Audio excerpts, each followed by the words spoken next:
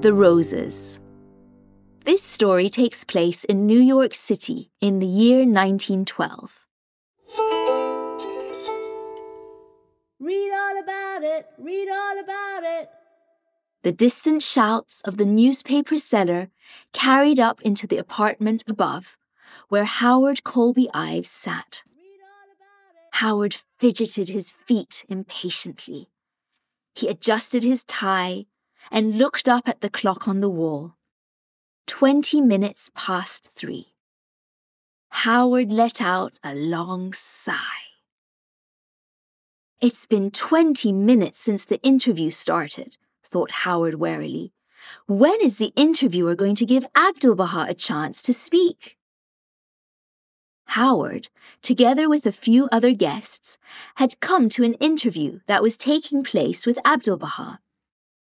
The interviewer, a gentleman with round glasses, was writing an article about Abdul Baha and had asked to meet with him. But since the start of the interview, only the interviewer had spoken. His questions were long, one after the other, without pause, and he didn't give Abdul Baha any opportunity to answer. Restless, Howard looked around the room. The man to his right kept tapping his pen on his knee.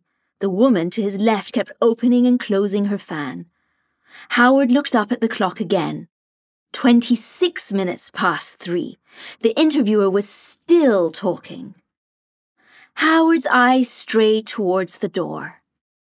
He noticed the enormous bunch of pink roses that had been given to Abdul Baha as a gift that morning. The bunch of roses was so large and the stems so long, no vase big enough had been found to put them in. What did they put the roses in? Howard wondered. He leaned sideways and chuckled softly at what he saw.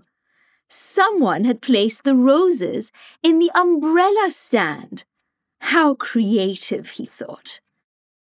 The voice of the interviewer pulled his attention back into the room. The interviewer was still talking. Someone must stop the interview, Howard thought impatiently.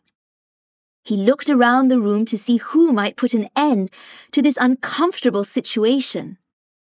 Suddenly, he had a thought. Perhaps Abdul Baha will just end the interview himself. Howard looked to Abdul Baha. To Howard's surprise, however, Abdul Baha sat perfectly relaxed. His brilliant blue eyes shone brightly and his face was radiant. He did not seem impatient or upset. In fact, he seemed to be listening with great interest to every word that the interviewer had to say. Abdul Baha's expression seemed to show infinite love, patience, and understanding. Finally, the interviewer paused. Howard held his breath as silence filled the room. Then, ever so gently, the silence was broken by the soft voice of Abdul Baha. The humility and majesty in Abdul Baha's every word and expression captivated Howard's heart. Howard looked at the interviewer and was surprised by what he saw. Something within the gentleman had changed. He was now listening eagerly to Abdul Baha, and his face was luminous. His whole being seemed to show humility. Could it be that all this time Abdul Baha had been listening patiently, letting the interviewer empty his heart and mind.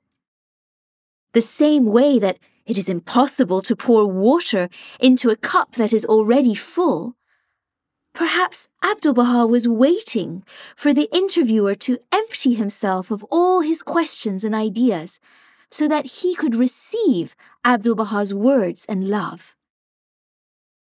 How different the conversation might have been had anyone interrupted the interviewer before he was ready to listen. Abdul Baha finished the interview and arose from his chair. All those gathered stood to their feet. Abdul Baha warmly embraced the interviewer and walked with him towards the front door. Suddenly, Abdul Baha paused. Seeing the enormous bunch of roses in the umbrella stand, he let out a joyful laugh, filling the room with laughter and delight.